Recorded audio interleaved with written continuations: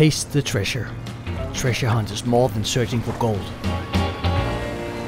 Diving Team Ternen found the golden drops of beer from Hull, England, brewed in 1861. The yeast had survived at 70 meters at the bottom of the sea for more than 150 years. White Labs, San Diego, USA and Copenhagen managed to isolate and keep the yeast alive, making it ready to produce beer again.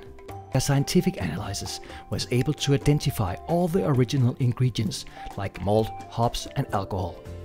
Yeah, these are from Lyric. It's good. The original recipe was carefully adjusted by pioneer brewer Mikkeller, It tastes amazing. now ready to be served.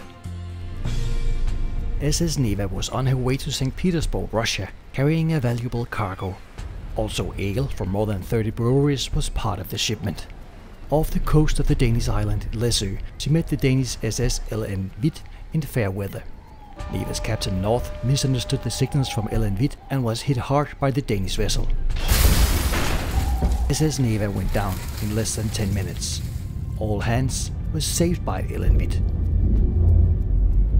Diving Team 10 has worked the wreck for years, led by Ove Jensen, alias Dynamite Ove, skipper and grand old man of Danish diving, and chief diver Jenna Eriksson and project manager Stig Indy Thornson. Are you ready to go down? They are now preparing an exhibition of the cargo and the story accompanied by the world's oldest documented original yeast beer. We release a first limited edition of 2000 bottles and will later make the antique bottles available for collectors with a full story of the dramatic event.